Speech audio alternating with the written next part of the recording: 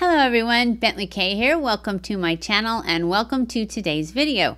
Today's video is a Hot Flash and Wrinkles makeup video and we are going to be testing out something that I got in PR. Yes, I did get some PR. This is the Dermablend CC Cream. It has an SPF of 50, so it's comparable to the IT Cosmetics CC Cream, is what I'm told, what I read. Not from them, but from other people that have, have had it. Anyways, these are the three colors they sent me. They are all very light. So I'm going to try the darkest one of the three. And let me tell you what they say about it.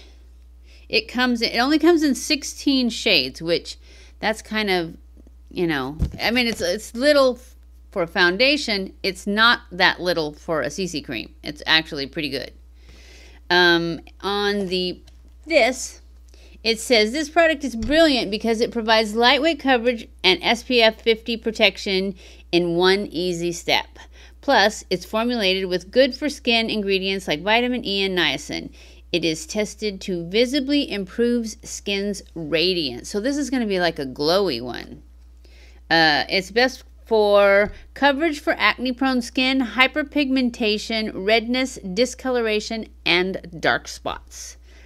It is clinically tested to visibly improve skin's radiance after four weeks, up to 24 hour color wear, broad spectrum 50, and um, SPF 50, and free radical defense, formulated with niacin and something else that I can't say. Bakelin, something like that.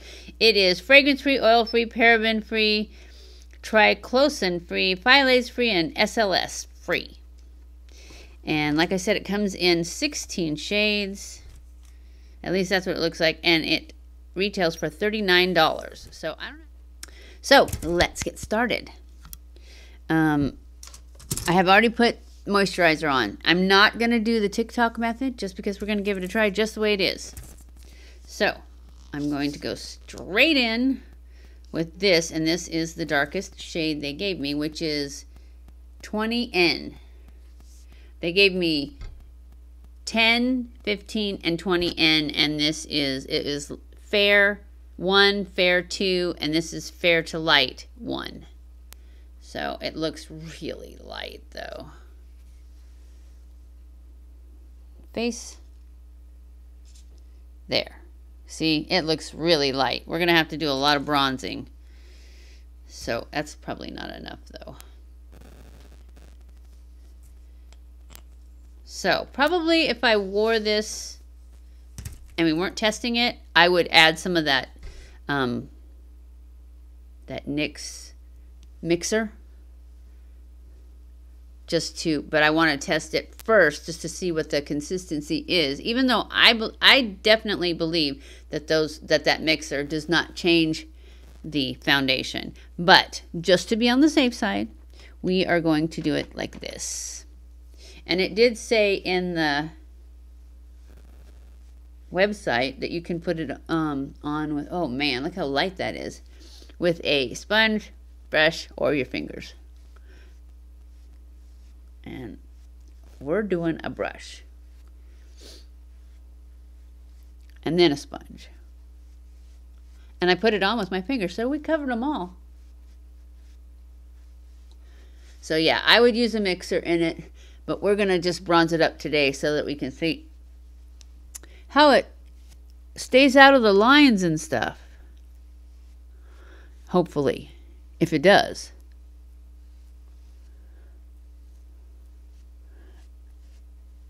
It's pretty thick. It's got good coverage. And it's glowy, but I am going to powder it. You know I'm going to powder it. Because I don't think anything's going to stay out of the lines if you don't powder it. At least not on me. Okay, now we're going to go in with our sponge and just make sure it's all blended and out of the creases.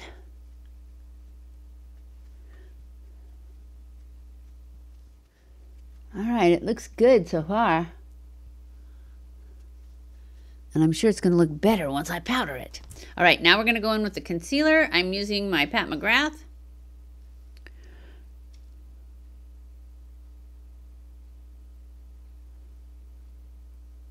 Oh, it's got a fuzzy on it.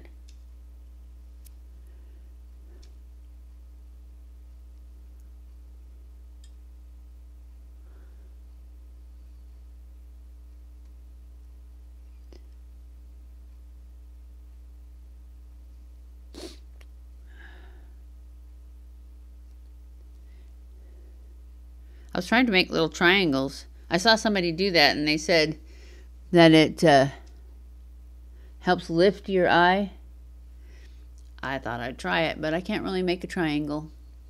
Or at least I didn't do a very good job. Right, let's go in and spread this out. Got a little on my eyelash there.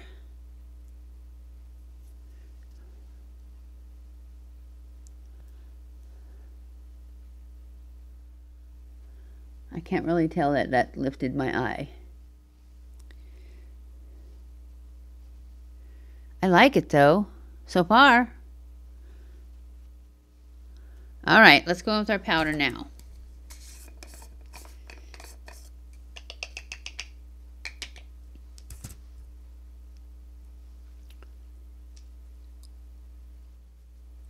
I always make sure I get plenty of powder in the places where it would normally like gather in the line in the wrinkles because that's where I really want to make sure it doesn't. And then I'm going to take my brush and just spread it all over. And set it all. Okay, now I'm going to go in with my bronzer. And I'm going to contour and bronze at the same time, I moved my microphone over this way a little, so now I have to make sure I stay over there so you can hear what I say. So I'm using my Bobbi Brown in Natural. Definitely want to get some color.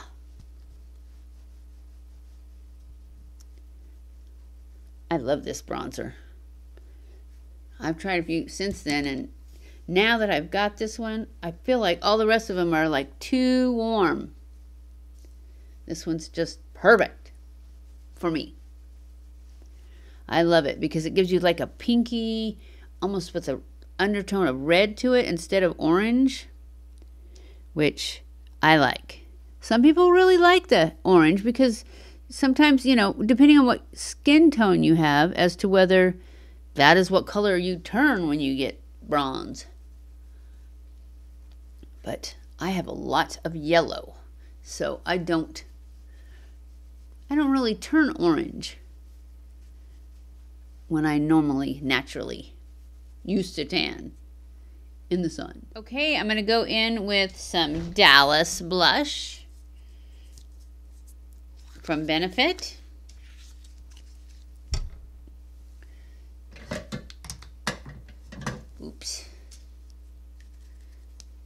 Since we need color today, we're not going to skip the blush.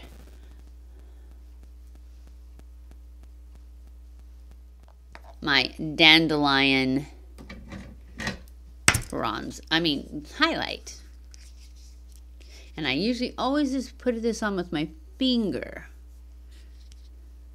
Because I just feel like it presses it into my skin a little more so that when I go over it with my dual fiber brush, I still have some. Otherwise, it seems like it just brushes right off. With this,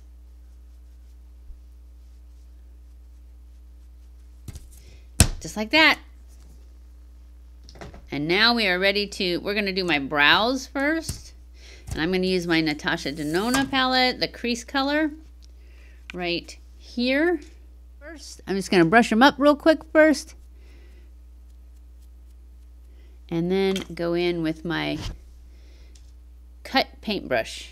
And this was a flat top paintbrush and I just cut it really down towards the bottom so it's really dense at an angle, a sharp angle. And it's like my favorite brow brush and then I have one that's just a little bit smaller than this, which you will see in a few minutes, um, that I use to for my eyeliner. Both of these brushes were great. and they came as a set. And I've tried to find them. I just got them at Hobby Lobby in the paintbrushes. And I couldn't find these exact ones, but like I said, just find some thin ones that are kind of flat. They're flat tops, and then cut them. It doesn't say how, what size they are or anything, I don't think. Simply something chisel. A chisel blender is what it's called. But it wasn't a chisel, it was a flat brush.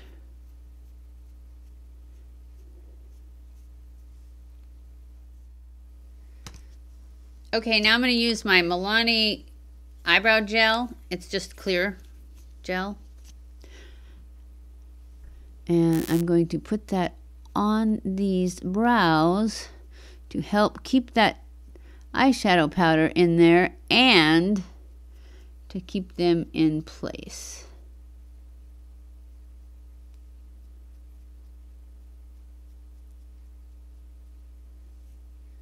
And then I'm going to take my twinkle blade or tinkle blade, whatever it's called. Leave the lid on. I'm just going to press the brows down so that they stick to each other and stay in place. Just like that. Okay, now for my eyeshadow, I'm going to use my Charlotte Tilbury Marie Antoinette. And we're just going to do a one and done. So I'm going to grab this brush. This is a Sigma eyeshadow E55 brush. And it's just a round top, but it's kind of dense. And so I'm going to get some on here. Haven't used this in a while. And I only get it on one side. And then I'm going to put this on my lid, the whole lid.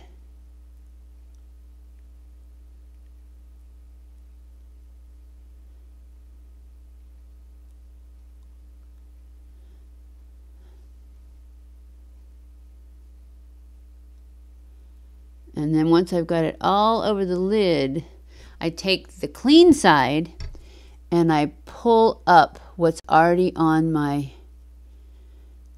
lid so that it just is a light coating of it.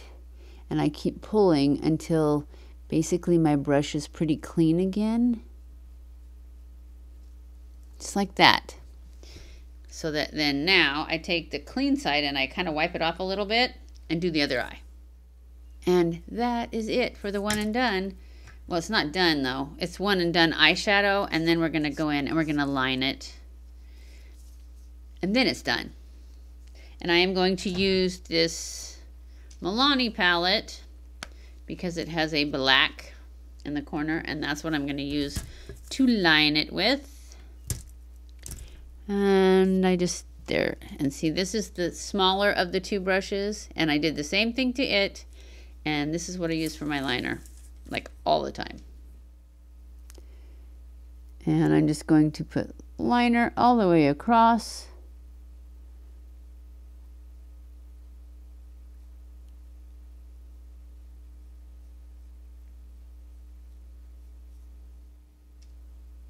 and then I'm going to pull it up a little on the outer corner to give it a little lift and smudge it.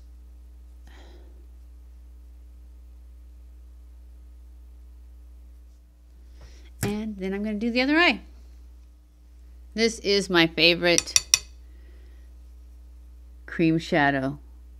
But just this color. Because I've tried, I think, I know I tried at least one other color and I ended up returning it because, I don't know, it just wasn't as good. I mean, the formula and everything was good, but I just, I couldn't do the one and done with it. I think it was green and it just didn't, you know, didn't work with that one. I felt like it didn't work on me. So, but this Marie Antoinette, I love it. I can wear this with any anything. Okay, where are we at? I think all we have left is lipstick, right? Because I don't put mascara on because I'm wearing these lashes. These lashes are my naked lashes. These are my new favorite, favorite ones. I don't know how close I can get, but if you guys can see these, These ones are so good. So good. They are, they're nice and thick. Well, not real thick, but they are, but they're curled. See how much curl they have? That's what I love is the curl. They look to me like if you go get your lash extensions done and you ask for like a natural look, because they're natural. For lash extensions, natural is just like not touching your, it's not actual natural ones because actual natural ones, you can't even see them, right? So anyways, these to me are like, just like, just like the extensions you get when you go get your lash extensions put on and you ask for like a natural type one, a natural length. I love them. Anyways, I love them. And this is what they are. These are the Ardell Naked Lashes. And I'm pretty sure they're new because I just found them. And I got a couple of these because I don't know how long they're going to last, but I want to make sure I have plenty of them because these are the best. What does it say down here? It says subtle volume and length. And it's true. It's like I've got length, but I've got curl so that you can see it. The other ones I had were length and they kind of curled, but they got so starry looking, you know, little separations. I like these so, so much better. Anyways, let's get some lipstick. What shall we wear? Let's wear that Tarte one again. I kind of like that one. At first, I was going to take it back, but I've got to where I like it now. This is the Tarte Juicy Lip in Orchid.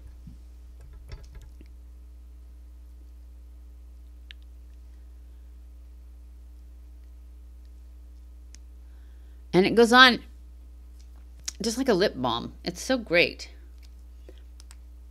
It's a little thicker. It's a little thicker. I thought it was like a lip, a lip balm at first, but it's a little thicker. All right, that's it. We're done. I love it. And it's a CC cream. I have complete faith in CC creams. I mean, that's pretty much all we've been doing for a while, huh? And this one, I like it because I powdered it and I can still see some glow through it. See? So next time I use it, I'm going to add a little tint to it, but you know, I don't you don't need it if you get the right color. But I think it's amazing. It's definitely sunk in. It went on a little thick, and I had read one of the reviews said um, it dried faster than they thought, so you might want to do just. I had no problem. I had no problem. I put it, you know, you saw me put it all over and then just go in with a brush and a sponge, and it still did fine. And it's completely sunk in. It's not sticky. It's not thick. It's not sinking into any lines. It's beautiful. And it's not clinging to dry patches.